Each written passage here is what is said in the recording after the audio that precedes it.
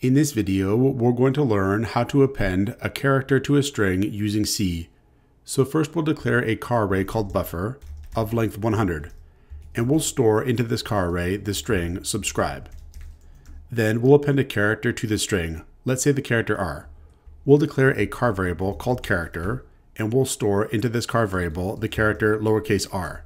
We can actually use the strncat function inside the string.h library to solve this problem. So up here, we'll include the string.h library with number sign include string.h. Then down here, we can call the function. So we'll call strncat.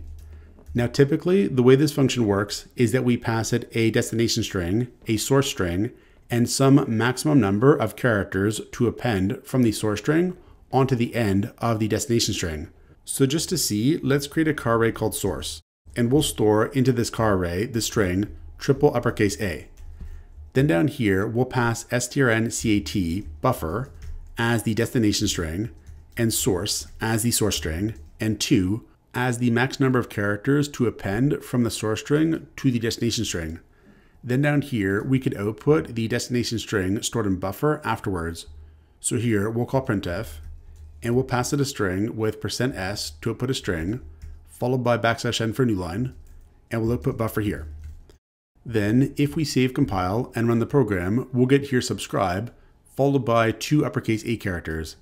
And that's because we only appended the first two characters from the source string to the destination string. Now, when we call strncat and we pass it buffer and source, what's really being passed is the memory address of the first character in these strings. So really, this function here is accepting the memory address where a character is stored. And what we could do is pass in the memory address of this character here. So and character will pass in the memory address of this character here in memory. Then what we'll do is append only that one character to the string. So here we'll have one as an argument. So just this one character is going to be appended onto the end of the string. Let's delete this. Then we'll save compile and run the program. And we do get here subscriber. So it is working. Now to understand what's happening when we call the function, let's remember that each character in this string is stored at an index.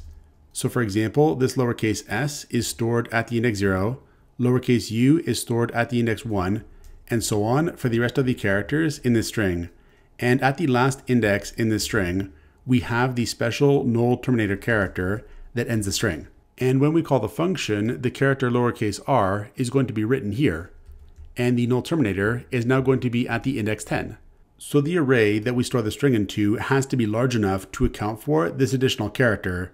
Now, if we're using something called dynamically allocated memory to store the string, it's possible to actually increase the size of where we're storing the string. I'll post a link in the video description to a video covering how to do this.